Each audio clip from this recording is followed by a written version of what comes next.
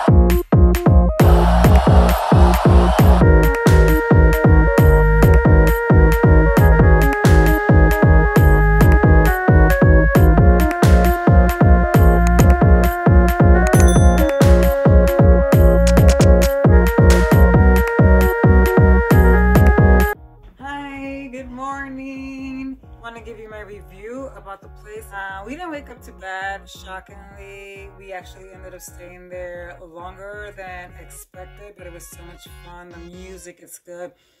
If you're looking for a party place or if you're looking to listen to some good music, they have music there. Meaning, like, they have good music. They have their reggae, they have their Spanish music, uh, they play a little bit of house, and that was on that day for brunch because we actually went for brunch. It was on a Sunday.